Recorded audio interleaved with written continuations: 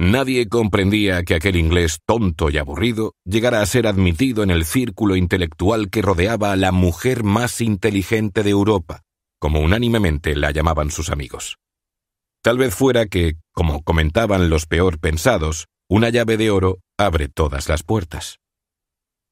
El caso es que se casó con él, y la mujer más inteligente de Europa ligó su destino al de aquel tonto de remate, y ni siquiera sus amigos más íntimos podían explicarse aquel paso salvo como una suprema excentricidad.